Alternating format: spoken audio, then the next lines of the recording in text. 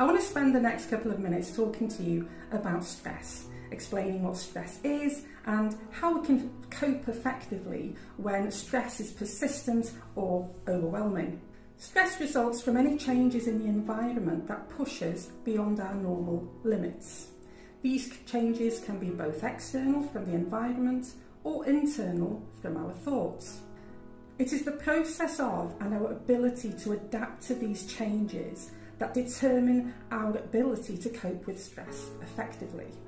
Stress can be positive. It can help us to achieve our goals, such as training for a marathon or preparing for an exam. These events can push us beyond our limits, but they are short term and there's an element of choice in them.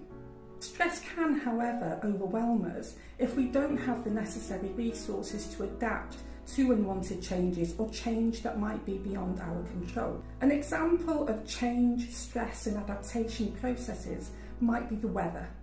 On a cold and stormy day, it might be miserable, wet and cold and you know if we don't wear a suitable coat it's going to increase our misery and make it quite difficult for us to get out and about and do what we need to do. A coat is an example of adaptation that maintains our normal, almost comfortable state of being.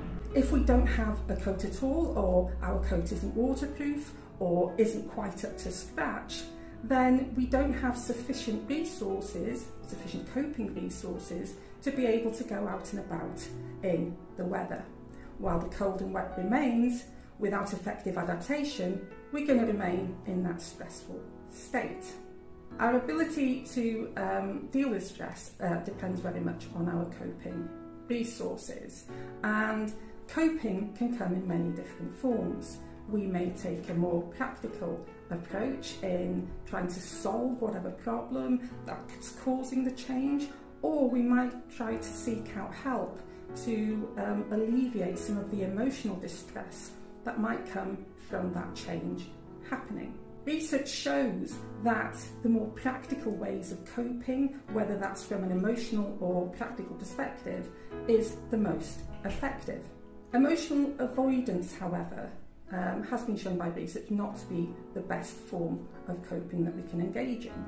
Emotional avoidance is where we try and avoid the negative emotion by avoiding whatever is happening in our lives at that point. It could be things like turning to alcohol, food or drugs to try and help us cope with the negative feelings that come from that event. Over short periods of times, it, it's not so much of a problem, but over time, engaging in emotional avoidance can lead to physical or mental health problems.